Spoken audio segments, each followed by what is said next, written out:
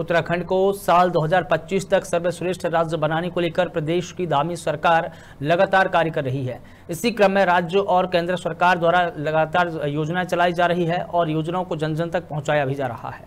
वहीं बता दें कि बीजेपी द्वारा सभी जिला मुख्यालय में पत्रकार श्रृंखला का आयोजन किया जा रहा है। प्रदेश मीडिया प्रभारी मनवीर सिंह चौहान ने कहा कि राज्य और केंद्र सरकार द्वारा जो योजनाएँ चलाई जा रही है, उसका सीधा लाभ जनता को मिले। इसके लिए प्रदेश सरकार लगातार काम कर रही है। वहीं सोशल मीडिया के पदाधिकारियों को ज़िम्मेदारी सौंपी गई है कि वह ब्लॉक और ग्राम स्तर पर जाकर पत्रकार वार्ता का आयोजन करें। देहरादून से अवनीश गुप्ता की रिपोर्ट।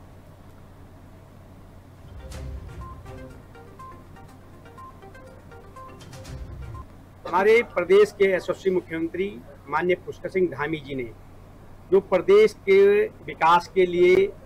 और प्रदेश को 2025 तक देश का सर्वश्रेष्ठ राज्य बनाने का जो विजन दिया है, उस और उन, उनके कदम आगे बढ़ रहे हैं निरंतर। और आदरणीय प्रधानमंत्री नरेंद्र भाई मोदी जी का जो निरंतर प्रदेश को आशीर्वाद मिल रहा है, विकास की दृष्टि से हर क्षेत्र में प्रदेश का चौमुखी विकास हो रहा है, उसको लेकर के हमारे भारतीय जनता पार्टी मीडिया विभाग के द्वारा सभी जनपद मुख्यालयों पर पत्रकार श्रृंखला का आयोजन किया गया है, जिसमें हम अपने प्रदेश सरकार की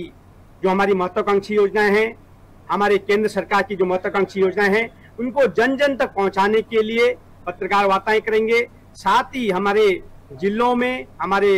जो मीडिया की टीम है, सोशल मीडिया की टीम है आईटी की टीम है, उसकी भी इसके साथ एक बैठक करने वाले हैं कि आगे हम किस तरह से इसको मंडल स्तर तक गाँव गाँव बूथ स्तर तक केंद्र और प्रदेश सरकार की योजना लेंगे इसकी एक योजना बनाई गई